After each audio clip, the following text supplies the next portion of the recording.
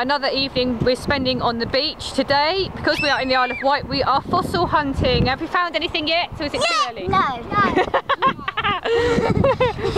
Here's the book. Oh, yeah, we've got this book to help us, look.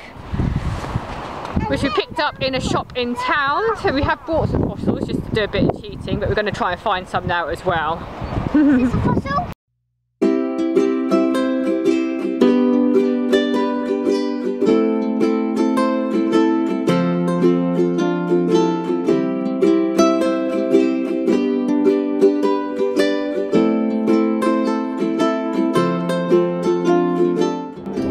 So far? Let's have a look. Oh, we've got a crab claw, a couple of stones, a bit of sea glass, and a striped stone. That's pretty cool. Maybe we're getting closer. Yeah.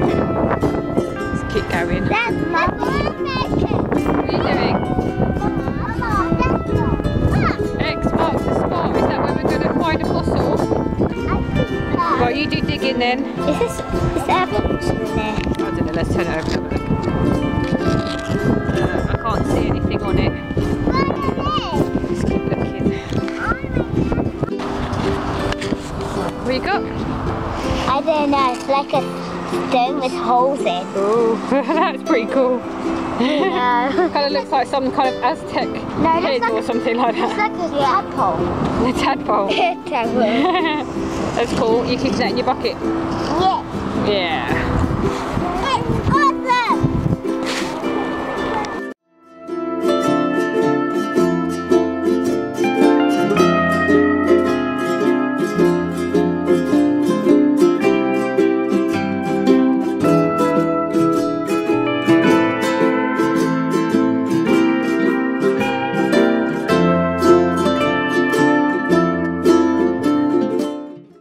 We are on the homeward journey now, so we're back on the ferry, ready to go. We're going to stop off at Portsmouth again on the way through, I think just to get some lunch quickly, because it'll be about midday by the time we get there. And then we're going to have the long journey home. Are you ready then, girls? Are you sat in the window? What are you sat in the window for? She's took off her shoes. Are you looking at all the boats? She's took off her shoes. And she's took off her shoes. You ready to go home? Yeah? You ready to go home? Did you have a good holiday? Uh, did you have a good holiday? uh, you ready to say goodbye then? Oh, I am cow.